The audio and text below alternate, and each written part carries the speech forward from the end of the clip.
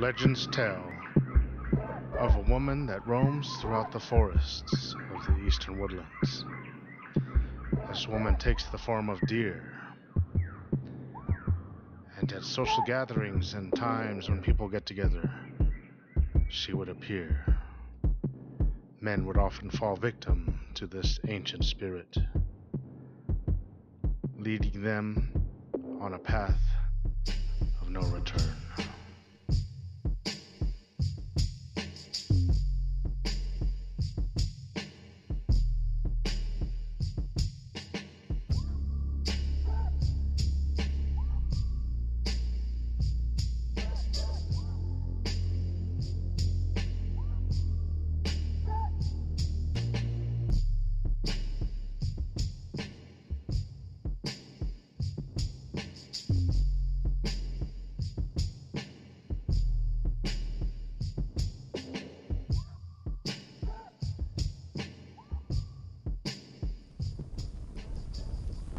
This story takes place during a social gathering. The people gathered to dance and socialize together. It was the time of year before the harvest, and many came to dance in this special place. And with the tribal gathering, offerings were made to others. As they danced into the night, the people looked forward to seeing Sapitsi and Wanuda dance for they had a dance which was revered throughout the country. Sapitsi danced with a shawl with a power that entranced those that watched. Young people were inspired. Her skill was unmatched. And her brother Wanuda also danced with power that inspired and kept people motivated and moving along. Sapitsi and Wanuda danced for the people with such passion that their spirits would eventually overcome them. They would bring light to the people in which they danced for.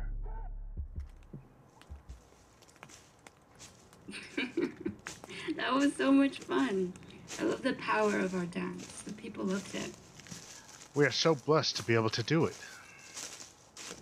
Well, I'm going to sleep. The dancing burned me out. Well, I'm going to go take a walk. Where are you going? Time to rest. Nah, don't you feel the energy of the dance? Man, I gotta go. Manuda, you are crazy. Good night.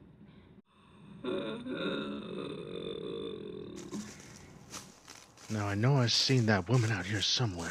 Saw her while I was dancing. I'm gonna go find her. I have a feeling something's out here. Whoa. Who are you? I'm Wanuda. I'm the one that was dancing tonight. Who are you? Come here. I see you. Yes, yes. I'm coming. Follow me. Come with me. I know a special place. Leave them. Come. Come with me. I'll show you something you've never known. Yes. Show me something I've never known.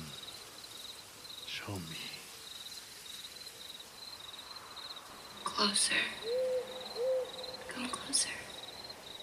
Yes, I'm here. I'm here now. I've